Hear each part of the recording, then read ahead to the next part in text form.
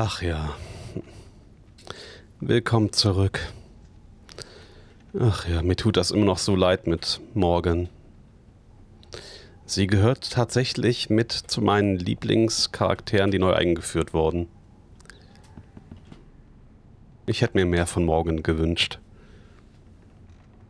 Dafür wird der Sinch büßen. Okay, schauen wir uns mal um. Was gibt's hier so? Vollautomatischer Schädelöffnungshelm. Hm.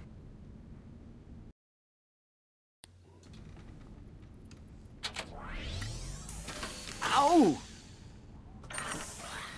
Was hast du? Mein Sohn! Das war dumm. Das muss während des Kampfs zwischen Morgan und des Sinch kaputt gegangen sein. Ich hoffe nur, die Maus entkam. Was haben wir da? Lepidoptera flotsamus accelerus.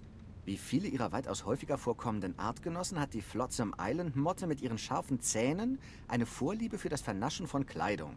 Allerdings unterscheidet sich die Flotsamus accelerus durch ihre sehr schmerzhaften Bisse, wodurch sie als durchaus lästig gilt und ebenso ihren fast schon zügellosen Appetit.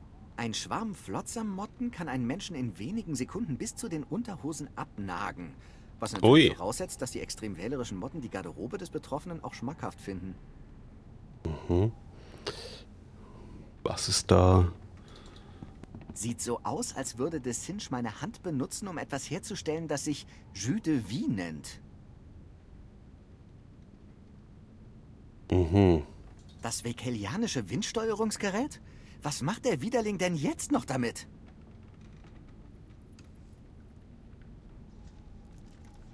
Okay, das sieht nicht gut aus. Oh, sogar das Skelett hat sich umgedreht. Hat De Sinch auch dich ermordet? Hm. Ich gehe mal hier in das äh, Aret, Are, was auch immer. Es ist abgeschlossen. Hm. Kann ich das mit meinem Haken aufmachen?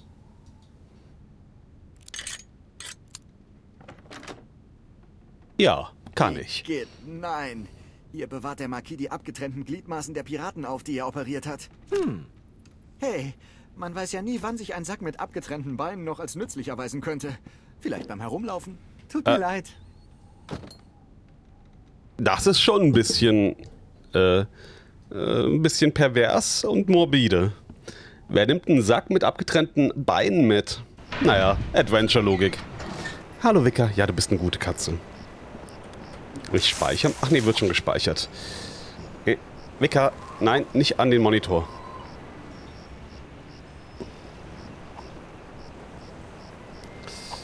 Okay.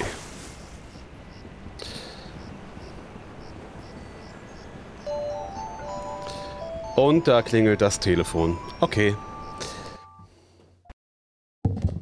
Okay, okay. Da bin ich wieder. Dann schauen wir uns hier doch mal um. Vielleicht hat irgendjemand irgendwas gesehen. Hallo, Doppelholz. Wie geht's, Miss Trashy Whiskers? Trashy Whiskers? Hör mir genau zu, du Hurenschlatzer. Sie heißt Miss Pretty Whiskers. Okay, okay. Hast du meine Frau gesehen? Ei, raste hier durch wie eine Katze, die direkt aus der Hölle kam und ab ging's in Richtung Dschungel. Was genau machst du eigentlich? Ich versuche immer noch herauszufinden, warum Miss Pretty Whiskers sich nicht mehr bewegen will. Wahrscheinlich bekommt sie nicht genug Eisen mit ihrer Nahrung. Bis später. Okay. Sonst irgendwo was Neues? Nee, hier ist nix. Äh, ja. Hm, Habe ich da drin irgendwas übersehen?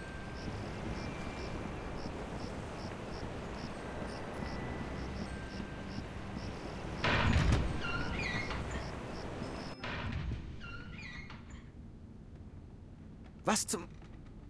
Was ist mit Morgens Körper geschehen? Hm. Doch nicht tot? Erfrischend. Hm.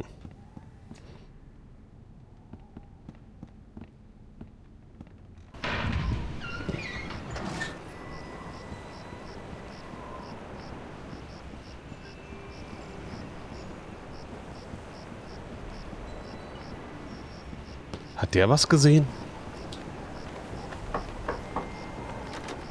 Sagen Sie, unbefangener Bürger. Was willst du?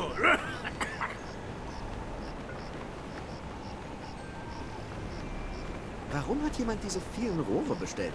Ich hab dir doch gesagt, du sollst mich das nicht fragen. Ach so, stimmt, stimmt, stimmt. Findest du dieses Verfahren genauso skandalös wie ich? Ich freue mich nur, dass dieser Kriecherle Chuck und die kriecherische Voodoo-Lady endlich zur Rechenschaft gezogen werden. Meine Güte, man kriecht ein bisschen und jeder will deinen Kopf.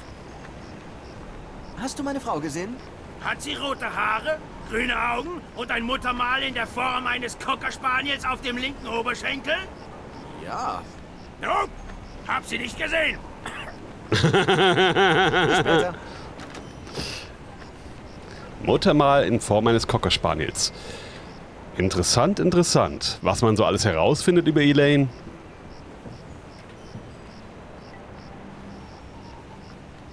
Hast du was gesehen?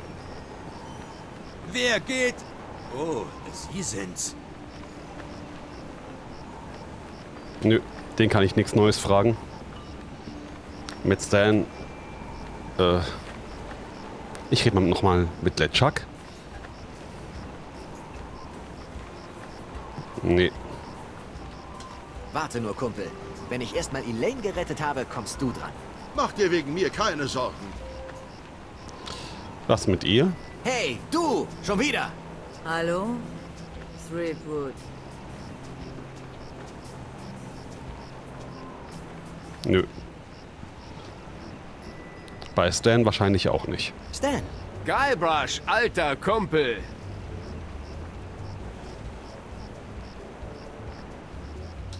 Hast du meine Frau gesehen? Ob ich sie gesehen habe?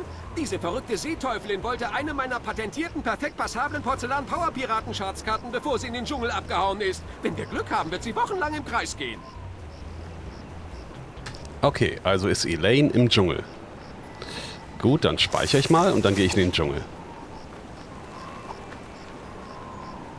Ich speichere jetzt mal ein bisschen häufiger, weil ich mich erinnere, dass, der viert, dass die vierte Episode von Tales of Monkey Island ein bisschen verbuggt war und dazu neigte, abzustürzen.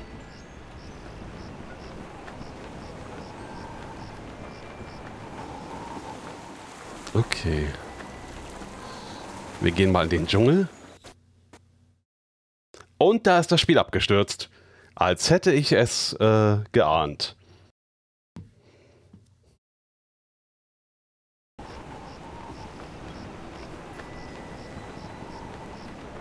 Okay, gucken wir doch mal, ob es jetzt geht. Oder ob es wieder abstürzt.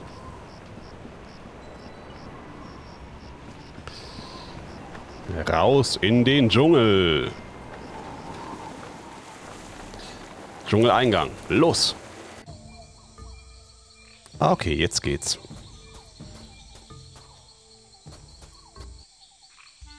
Zehn, 19, 20 und X zeigt...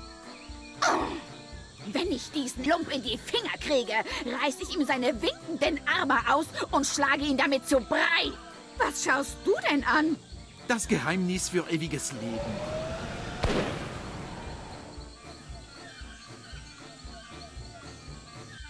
Le spectre de Grand César! Es sieht nicht so aus, als sei Elaine momentan in Gefahr. Hoffentlich wird sie keine unverzeihlichen Gräueltaten begehen, bevor ich meinen pockenheilenden Schwamm vergrößert habe. Was hat der da? Das Skelett? Pistalibres Tagebuch.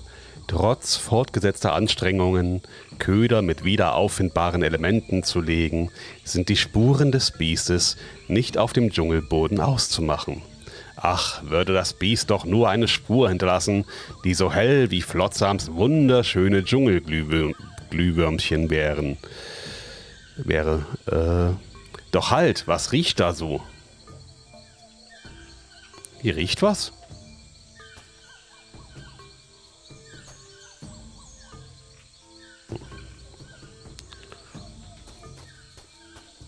Ich gehe mal nach links. Da ist der Brunnen. Wobei, warte mal, wir haben doch eine Karte bekommen. Die schaue ich mir mal an. Äh, äh, äh. Hm, Die hat keinen richtigen Startpunkt. Ich glaube, die muss man irgendwie falten. Ein fetziger Stoff, grell und bunt gescheckt. Sobald in dieser Reihenfolge vollendet, wird ein kleines Biest zu voller Größe heranwachsen. Mhm. Ersetzungen werden begrüßt. Das ist merkwürdig. Fest der Sinne. Ein Voodoo-Festessen mit sechs Gängen. Das garantiert selbst das kleinste Biest gewaltig über sich hinauswachsen lässt. Erster Gang. Eine Serviette binden, die die Blicke weckt. Winziger Stoff, grell und bunt. Ein fetziger Stoff, grell und bunt gescheckt. Zweiter Gang. Als Vorspeise wird Dschungelfleisch gereicht. Das riecht wie Füße, die nie eingeseift. Dritter Gang. Vor dem Hauptgang reinige den Gaum. Der Geschmack muss einen umhauen. Vierter Gang. Der Hauptgang wird nicht ohne Aufregung gehen. Nutze die Karte, um den sechsten Sinn zu sehen. Fünfter Gang. Frisch geschwollen. Ein Nachtisch ganz fein. Eine Berührung. So scharf wie eine Pein. Sechster Gang. Das Mahl beendet ein befreiender Schrei. Und ein lauter Rülpser sei auch dabei. Das sieht jetzt wie eine völlig neue Karte aus. Aber ist das die richtige Karte?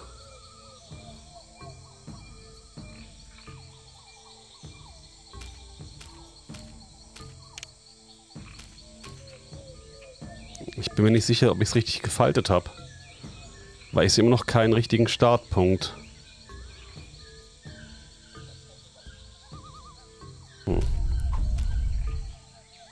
Oder doch? Es muss Flut sein. Ich kann fast das Brunnenwasser unten erreichen. Hm. Okay, ich gehe mal einfach weiter nach Norden. Okay, hier war das.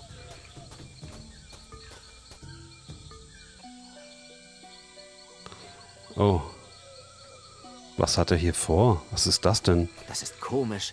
Die ganze Götterstatue ist unter einer von Crimp-Digits unzerbrechlichen Glasflaschen.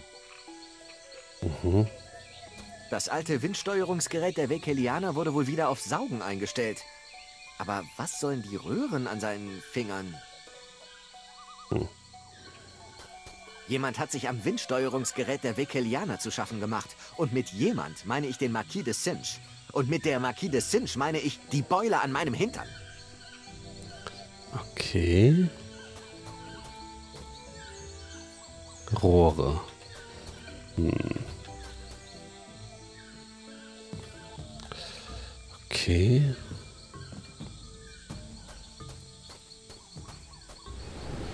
Ich gehe mal zum hier hin. Äh, gruselige Hütte. Aber da ist ja gerade niemand. Die Voodoo Lady ist ja im Gefängnis. Aber vielleicht finde ich da ja irgendwas Interessantes. Jetzt Was kann ich ja eigentlich. Namen von Bluebeards Haarfarbe. Hey, kein Wildern. Das gehört mir. Ich glaube, ich habe mich verirrt. Sollte hier nicht irgendwo eine gruselige Voodoo-Hütte sein? War sie auch. Bis sie die pockenverbreitete Voodoo-Lady verhaftet haben. Was ist passiert? Erst kamen die Flammen. Der arme Senior Nipperkin loderte wie Elmsfeuer. Dann erschien sie aus dem Feuer. Mit jedem ihrer majestätischen Schritte murmelte sie uralte Flüche. Ich werde nie den unheilvollen Blick vergessen, den sie mir zuwarf, als sie weggeführt wurde. Ein Blick, der mich zu Leiden, Schande und Reue verdammt hat. Gruselig. Und als wenn das noch nicht genug wäre, ich habe nicht mal ein cooles Voodoo-Ding in den Trümmern gefunden. Mann. Ein Mob kann so unfair sein. Okay, was ist hier übrig? Sogar abgebrannt ist die Hütte der Voodoo Lady immer noch gruselig. Sogar abgebrannt ist die Hütte der Voodoo Lady immer noch gruselig. Da sind Motten, oder? Hm, die Glut der Hütte scheint einen Schwarm Dschungelmotten angelockt zu haben. Das erklärt wahrscheinlich, was mit dem Teppich der Voodoo Lady geschehen ist. Kann ich die irgendwie mitnehmen, wenn ich die anlocke mit, dem, mit der Lampe?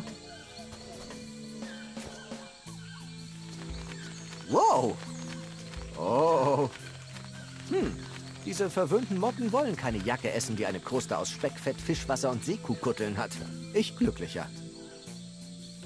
Okay, jetzt habe ich Motten. Ah, ich weiß, was ich mit den Motten mache. Ich brauche ja einen hübschen, äh, eine hübsche Serviette für den Schwamm. Und die hübsch, die, das hübscheste Stück Stoff hat ja immer noch der gute Stan. Also gehe ich mal mit den Motten zu Stan und guck, ob die Motten eventuell Lust haben, an Stans Jacke zu knabbern.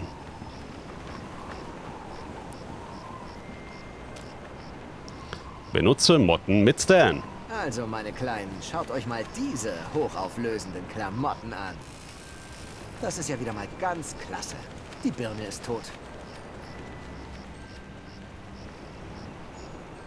Wenigstens hält Stans Schild die Motten von einer Rückkehr in den Dschungel ab. Hm. Und wie kriege ich die jetzt dazu? Gerade als ich dachte, dass meine Meinung über den Advokatenstand nicht noch tiefer sinken kann, taucht Stan auf. Hm, wie kriege ich die jetzt dazu, Stan anzuknabbern? Stan! Guybrush, alter Kumpel!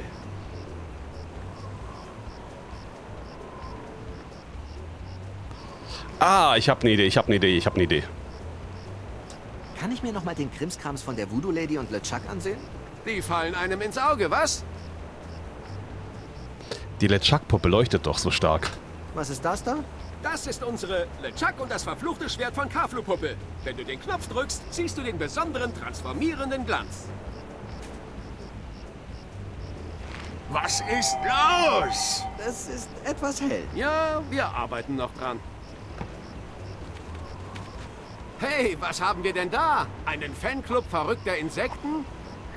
Autsch! Hey, lass das! Verrückte Knabberviecher! Das... Au! Tut weh!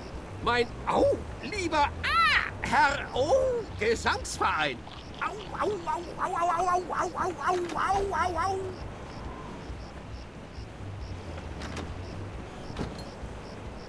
Hey, das war vielleicht ein Erlebnis, hä, Threepwood? Zum Glück hat der alte Stan immer ein paar Reservejacken im Büro. Sonst müsste ich meine Mandanten hüllenlos verteidigen. Genau genommen wäre das doch ein Hit. Stan S. Stanman, nackter Rechtsanwalt des Vertrauens. Sie haben nichts zu verbergen. Und er auch nicht. Ähm... Genug geplaudert, Threepwood. Ich muss jetzt Visitenkarten drucken. Okay, jetzt haben wir eine, eine, eine hübsche Serviette für den Schwamm. Benutze Serviette mit Schwamm. Als ich davon träumte, ein mächtiger Pirat zu werden, hatte ich mir nie vorgestellt, dass ich eines Tages Servietten, die ins Auge springen, um den nicht existierenden Hals eines mystischen Schwamms binden würde. Okay. Wir haben noch einen Sack mit abgetrennten Beinen. Es ist ein Sack mit abgeschnittenen Beinen. Uah. Ja. Hier, Stan, willst du die haben? Ah. Okay, was kann ich mit dem Sack mit Beinen machen? Ich brauche Dschungelfleisch noch und äh, okay, wie war das mit den Gängen?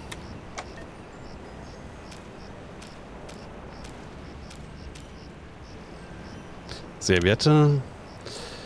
Das zweite ist Dschungelfleisch. Dritter Gang muss ein Umhauen. Äh, Die Karte im sechsten Sinn zu sehen. Fünfter Gang, frisch geschwollen. Äh, eine Berührung so scharf wie gut zusammenfalten und in meine Tasche stecken. eine Berührung so scharf wie Pein. Da habe ich schon eine Idee, was das sein könnte. Und zwar im Club 41. Äh, da gibt es doch den, diese, diese scharfe Chili unter der Glasglocke.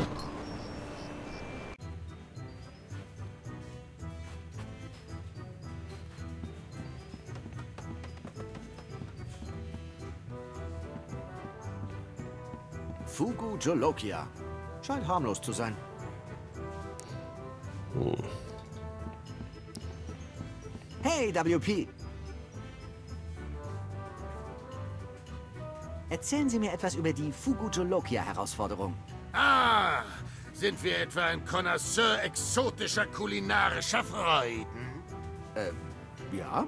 Dann haben Sie gewiss schon von der Fugu Jolokia gehört, der schärfsten Pepperoni der Welt oder der kommenden. Ach, die Fugu Jolokia. Ich konnte vor vielen Jahren ein Exemplar dieser Art, dieser Fugu Pepperoni von einem dreibeinigen Piraten namens Ord erstehen. Ich gewann sie, weil ich meine Zunge für ganze zehn Sekunden an die Pepperoni halten konnte.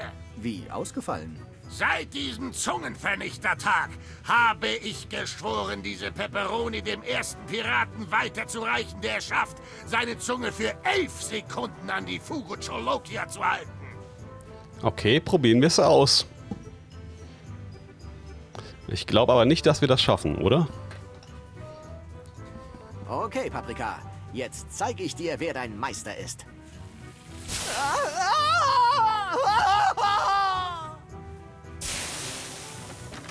Okay, Memo an mich selbst. Die Fugo Jolokia anfassen ist auch heiß. Hm.